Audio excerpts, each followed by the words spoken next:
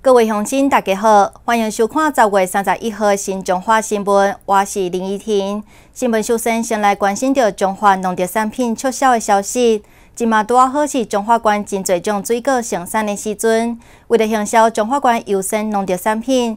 中华县政府配合中华果菜市场，三十号举办一百十一年度中华农特产品促销嘉年华，现场准备了四千份两万斤的中华优鲜水果来免费试食，卖提供调时水果用批发的介绍，佮拍八折的优惠价给消费者，嘛结合绿色团体家己行销做的产品，吸引真侪乡亲到场来买。饼零起，冲买起，来食上新的水果。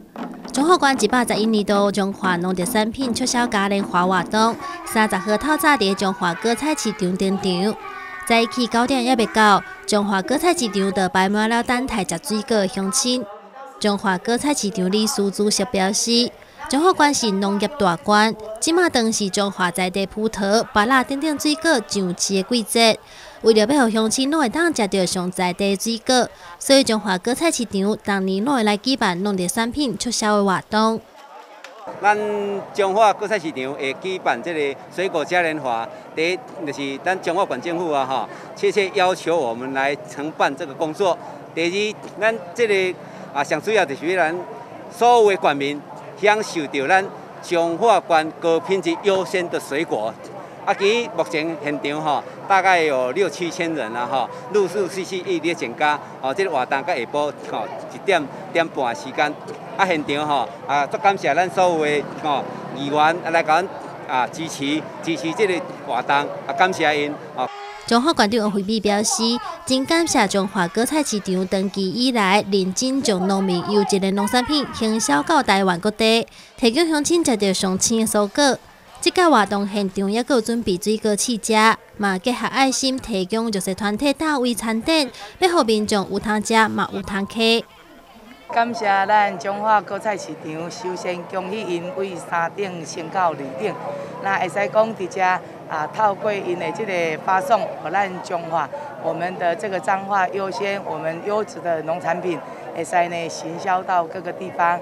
咱中华是一个农业大县，包括咱的葡萄、咱的这个红龙果，啊，搁有咱这个芭乐等等，会使讲拢是安尼真大的诶这个产量，啊嘛是足好的这个品质。透过咱遮的这个运销，啊，互产生着咱真好的这个行销管道，再次利用机会。那这个呢，每一年乡亲都伫咧问，遮尔好的有法度吃在地想当季诶活动，当时要办。去年因为疫情哦停办一年，今年大家都很期待。